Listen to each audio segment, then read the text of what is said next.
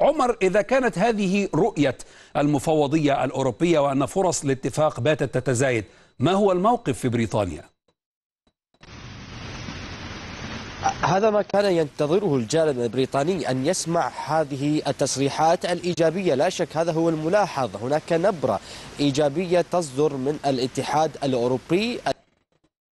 مع قادته خلال العشرة أيام المقبلة وكان من المفترض في هذا الاجتماع أن يتم التوصل إلى اتفاق لمغادرة بريطانيا الاتحاد الأوروبي لكن هذا الموعد تم تمديده إلى الشهر المقبل أو يعني ديسمبر على يعني أقصى تحديد كما يرى الكثير من المسؤولين الأوروبيين وحتى البريطانيين لا شك نعم. أن هناك في ذات الوقت خشية بريطانية من أن هذه النبرة الإيجابية ربما تكون فقط للقول أن الأوروبيين قدموا ما لديهم كانوا إيجابيين وسيلقون اللوم على البريطانيين في حال لم يتم التوصل إلى صفقة. وهذا أيضا خيار مطروح على الطاولة من الجانب البريطاني وحتى الجانب الأوروبي ويستعد له الطرفان. نعم.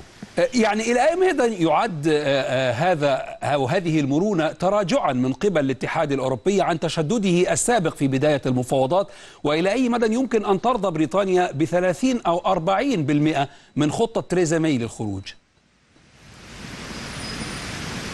الموقف الأوروبي كان يتوقع أن يتم تخفيفه خاصة بعد الرفض في قمة النمسا لخطة تريزا ماي.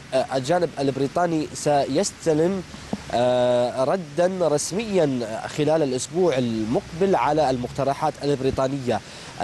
الجانب البريطاني لا يريد إجراء أي تعديل على خطته وحتى تheresa ماي تقول إنها قدمت أفضل ما لديها وهناك خطوط حمراء لا يمكن التراجع عنها، هذه الخطوط متمثلة بعدم وجود حدود أمر واقع بين إيرلندا الشمالية والجمهوريه الإيرلندية وكذلك عدم القبول بالتعامل مع إيرلندا الشمالية بمختلف أو بمعزل عن باقي أجزاء المملكة المتحدة، الجانب الأوروبي في المقابل لا يريد إعطاء كل الفرص التجارية أمام بريطانيا حيث هذا سيؤثر على كما يسميها البعض كرامة السوق الأوروبية المشتركة. إلى ربما يعني يجد الطرفان نقطة مشتركة للاتفاق عليها وهذا ما يمكن أن يعني نسمعه خلال الأيام المقبلة والأسابيع المقبلة حيث وضحت الفكرة عمر شاكر مراسل الغد كنت معنا من العاصمة البريطانية لندن. شكرا جزيلا لك.